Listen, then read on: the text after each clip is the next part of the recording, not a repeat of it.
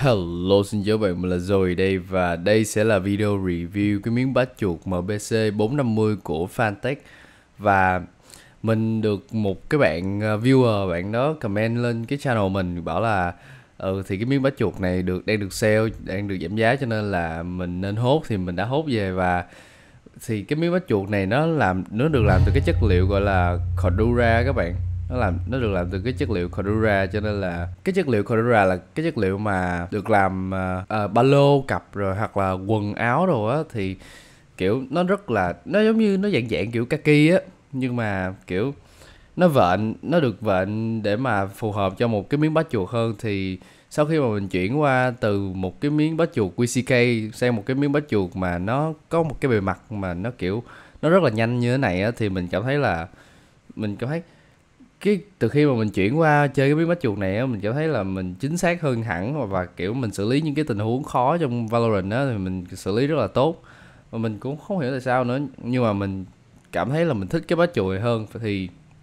trên hãng có ghi là cái miếng bát chuột là một cái miếng bát chuột mà chống nước hoặc là, và chống, gọi là chống ẩm đi. Thì mình thấy đúng thiệt là nó chống ẩm và kiểu như là nó chống nước được phần nào á tại vì mình chơi game mình hay ra mồ hôi tay mà mình bị phong thấp mà cho nên là khi mà mình đổ mồ hôi á thì cái, đối với cái miếng bách chuột WCK cũ của mình á thì nó rất là gọi là rất là ướt. Khi mà mình chơi game lâu á thì cái phần mà cái phần khúc này nè mình để mình áp cái áp cái cánh tay mình lên á thì nó rất là ướt. Mình cảm giác là nó, nó kiểu nó ướt nhẹp á xong rồi mình cũng không thích. Cho nên là mình chỉ có con bát bát này thì mình thấy là nó ướt thì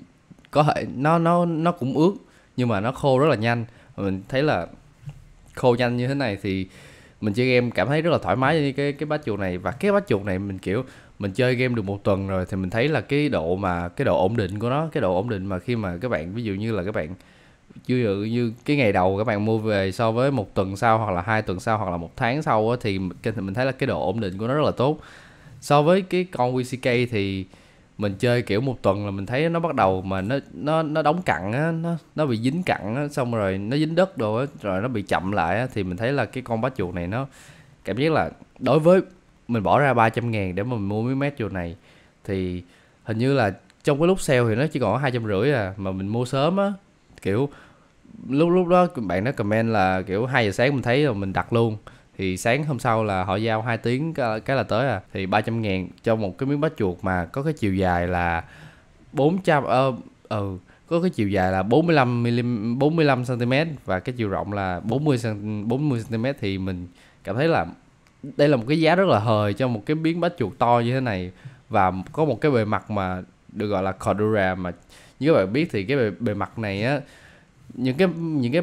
mà hãng sản xuất bát chuột khác á, thì họ sẽ làm là kiểu như là họ sẽ bán với giá là 600 ngàn đi. Thì mình mua được cái miếng bát chuột Cordura với cái giá chỉ có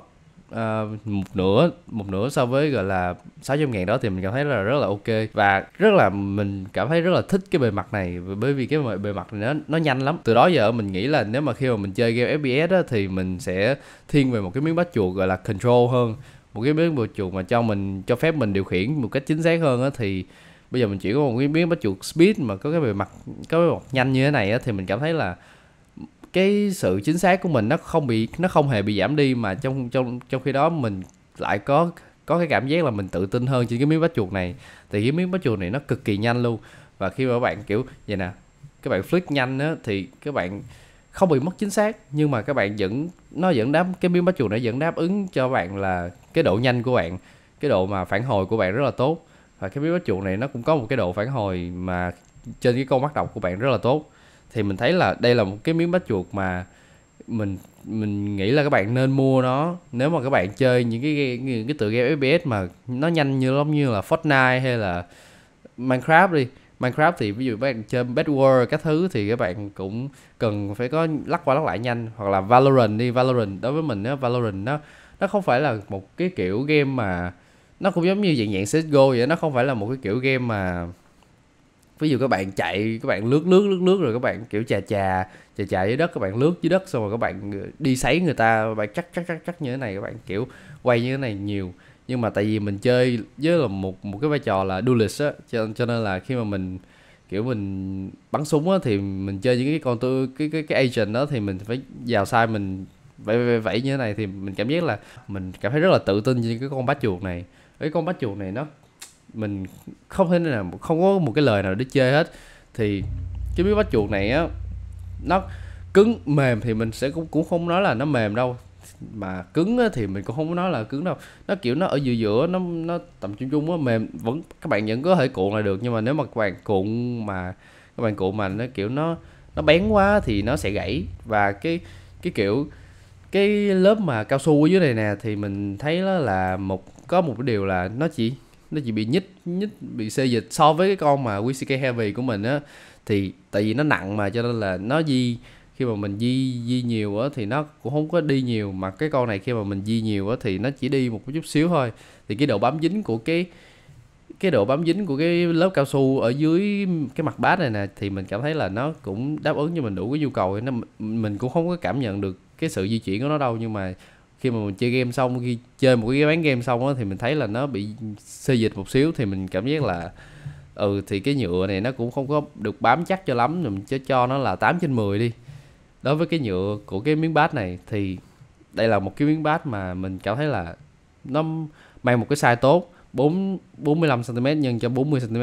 thì mình nó mang một cái size quá to rồi quá tuyệt vời dành cho những cái bạn nào mà thích mà có những cái size giống như thế này. À mình nói luôn là mình có mở một cái channel Discord cho các bạn vào mà gọi là giao lưu trải nghiệm rồi hoặc là khoe chuột của mình đó thì mình sẽ để cái link Discord ở dưới cái phần mô tả và các bạn hãy uh, tham gia cái Discord của mình và các bạn kiểu các bạn kiểu uh, debate các bạn kiểu thảo luận về những cái con chuột những cái switch chuột mà các bạn muốn có thì đó hoặc là những cái con chuột hoặc là các bạn có thể giao lưu bán chuột này nọ thì uh, channel Discord mình có đáp ứng hết. Thì đây là cái video mà review cái miếng bát chuột gọi là MBC 4 450 của Fantech. Và mình nghĩ là Fantech đã làm rất là tốt trong cái gọi là cái việc mà sản xuất cái miếng bát chuột này tại vì mình thấy là cái giá thành của nó rất là ok và cũng như là cái bề mặt của nó. Với cái bề mặt Cordura thì các bạn biết là nó sẽ nhanh so trên cái miếng bát chuột. Như các bạn thấy nãy giờ mình quay cái con Model O của mình thì các bạn thấy nó nhanh cỡ nào rồi thì đó, đây là cái video review cái miếng bát chuột MBC của mình. Và cảm ơn các bạn đã xem video này. Các bạn hãy nhớ like, share và subscribe để có nhận thêm nhiều cái